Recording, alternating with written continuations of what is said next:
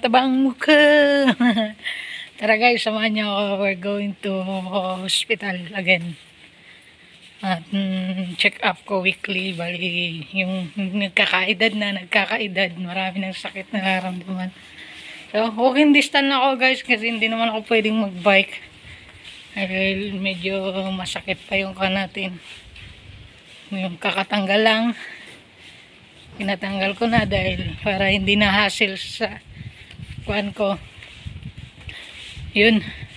Yan, naglalakad lang ako guys. So, lalakarin ko lang siya for 15 minutes. Pero, mabilisan lang natin yung lakarin dahil shortcut-shortcut lang tayo.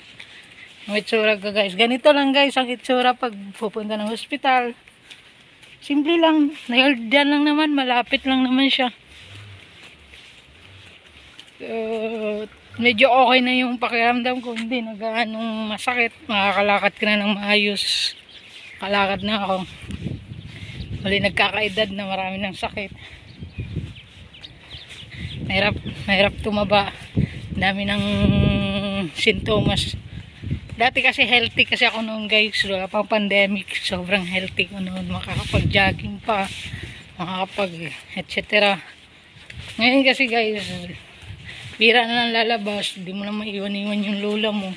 So nasa bahay na lang. Tinatamad din sa exercise sa bahay. Kahit tulog na lang. Oh. Yun, ito yung sintomas sa taba. Dami ng sakit. Nararamdaman. Ayan, ikot natin sila. Naglakad lang ako guys kasi ayaw magbike. Sakit pa puwit ko. Hindi pa pwede.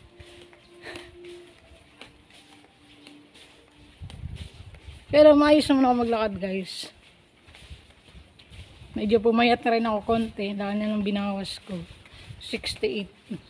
Dating 54. Nagiging 68. Ngayon, medyo nag-reduce na rin ako. Low rise. Hala, yung konti-konti na lang kasi bawal din ng i-push yung something ko. Kaya almost kinakain ko ngayon gulay lang or minsan hindi na ako makain. Diet na lang. Or prutas na lang. Yan na lang. Ah, nagbabari na ako konti ngayon. Medyo nasa ano. Yan. Diba? Ang hirap pag tumaba. Umulan pa. Umulan na guys. Hirap tumaba guys kasi may, may parang bilis kong hingalin ako lang iniwan ko yung lula ko eh. wala wala siya dun sa ako check up ko today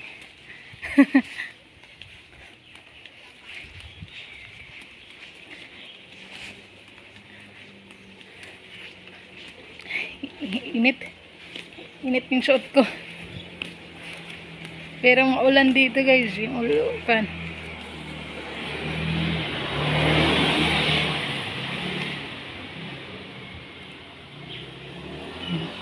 Saibit mo na pasilip sa mga hindi naman sa atin.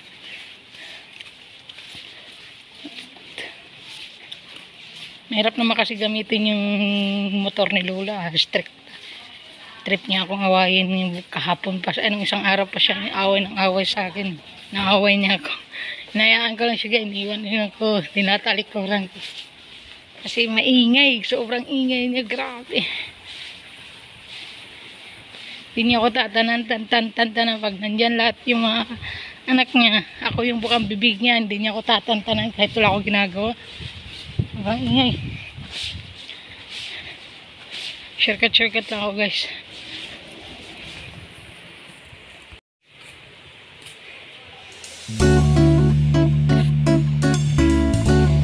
Dasalan nila dyan guys. Diyan ko minsan nila tinutulak sila magdasal. shortcut shortcut na hindi tayo para mabilis ang dat nakarating doon baka late na tayo sa number ko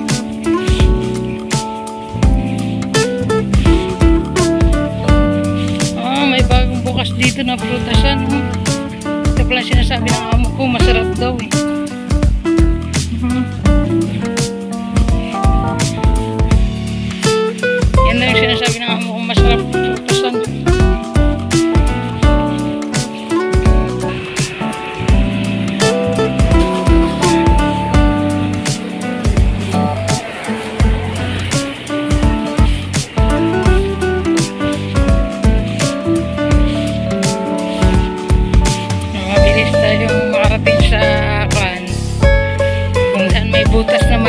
natin yung pasukin natin.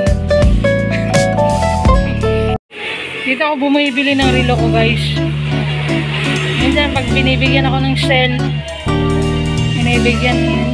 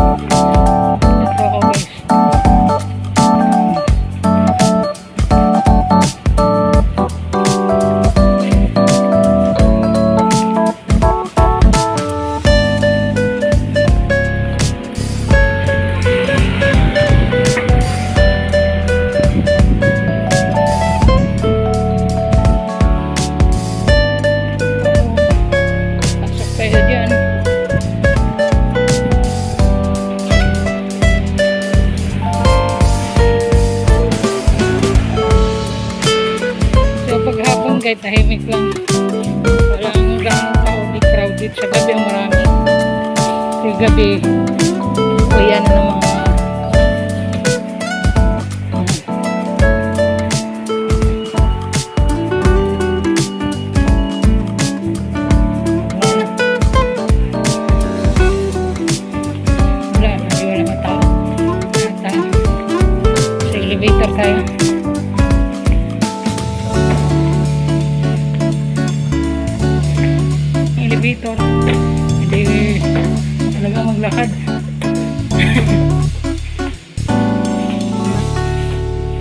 Third floor po ako guys, third floor. So we're going to third floor.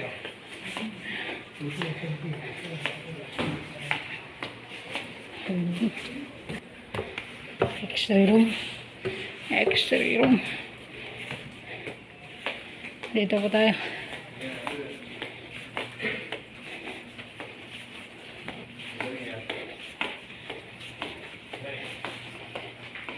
Labasan natin yung ID natin. Walang ID, walang admit.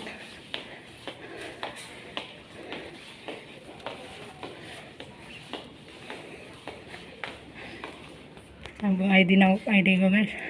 Paslak natin doon.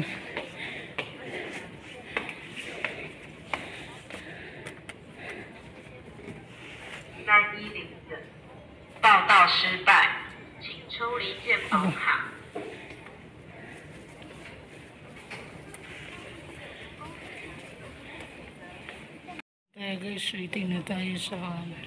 So, bawal lang kami sa loob. Kasi, private na yun. So, waiting na lang tayo ng number ko, number 7. Ito yung ID, pinapaslak na automatic. So, dalawa bago tong ID ko, guys. Dalawa na tayo. So, waiting for calling. So, bawal ang camera doon, guys, dahil masilan. Private ko na yan, guys, kasi part ko na sa sarili ko yan. Ha, sige, and sa baba. At tapos nito pagtawag ko, bababa at kung ano ng gamot yun. Kung anong, anong sabi ng doktor. Kung okay na ba. At it, actually, 3 days, 3 days guys, balik ko dito eh. Sa hintay na lang daw ako. Hmm? Ang hirap magkasakit. Daming gas. Kaya guys, yung maganda lang dito sa Taiwan yung mild lang, yung mild na opera, yung hindi yung opera talaga na as in, ito mild lang kasi ito yung parang slight lang na pagka mura lang babayaran mo. Hindi umabot ng libo. Pero pag nandun ka na, siguro ito i-admit ka. Tama lang naman mura kasi may ID naman kami. May ID mo. May ID naman pwede mo nang pagpilian kung private room or or kung marami kayo. Mas nakakamura sa marami. So, hintayin na lang natin tawagan yung name ko guys. Tapos na ako guys, ang tagal, kukuha na ako ng gamot. Natakilan ako. Itong ID ko dahil bago, hindi ayaw mag, ayaw mag, paan siya, mag-attach. Binago yung ID ko dahil bago din yung resident ID ko guys. So, binago din to. Tagal ko kuha tayo ng gamot. Tagal ko. Doon tayo sa baba.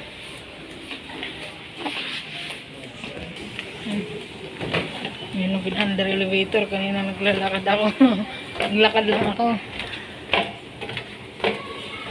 Ang gamot dito guys, mura lang. Ay ngayon, tumaas na ngayon. Tumaas din ang bilihin. Dati 130 lang. Ngayon, tumaas na isang daan. So, kukuha tayo ng number natin. At pipila tayo. Diba? Walang ganong tao guys pag hapon. Kasi yung iba trabaho pa. Yung iba kagabi maraming tao kasi uwian na.